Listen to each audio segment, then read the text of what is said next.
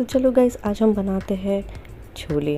आज हम छोले बनाने वाले हैं, वो भी काले चने से। यूजुअली छोले वाइट चने से बनते हैं, जो इस साइज़ में थोड़े बड़े होते हैं। बट आज मैं यहाँ पे ब्लैक बंगाल ग्राम्स ले रही हूँ। और हाँ वीडियो को एंड तक देखिए। और अगर मेरी रेसिपी पसंद आए तो लाइक शेयर एंड सब्सक्राइब ज़रूर कीजिएगा। यहाँ पे मैंने four table spoon of oil लिया है। इसमें मैंने एक पोटैटो को फ्राई कर लिया है अच्छे से। आलू को हमें स्लाइटली गोल्डन होने तक फ्राई करना है। जिससे ये कलर आ गया है ना, इस टाइम पे हमें इसे निकाल लेना है।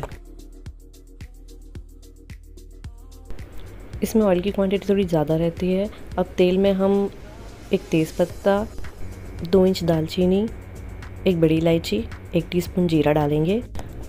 अब हम दो मीडियम साइज़ के ऑनियन चॉप्ड डालेंगे इसमें और अच्छे से मिक्स कर लेंगे। ऑनियन को हमें स्लाइटली गोल्डन होने तक पकाना है। अब हम इसमें डालेंगे एक table spoon ginger garlic paste डेढ़ tea spoon chilli powder half tea spoon turmeric powder एक टी स्पून कोरिएंडर पाउडर और इसे हमें अच्छे से मिक्स कर लेना है।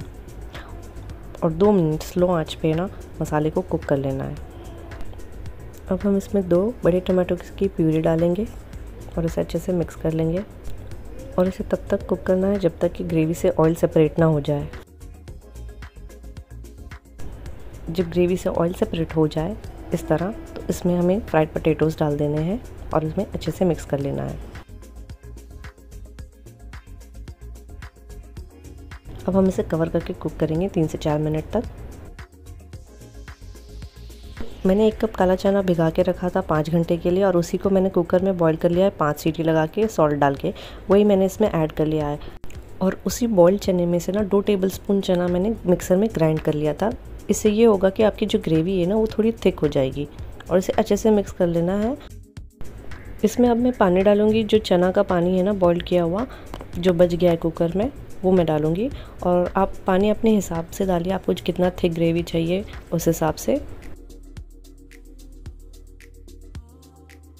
ये अच्छे से मिक्स हो जाने के बाद हम इसमें सॉल्ट ऐड करेंगे टेस्ट के लिए।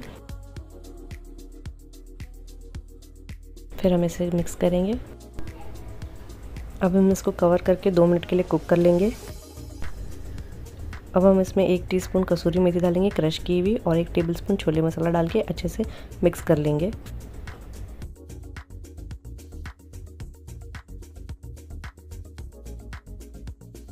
और लास्ट में हम इसमें कोरिएंडर लीव्स डाल देंगे मतलब थोड़ी सी कोतमीर डाल देंगे चॉप्ड की हुई।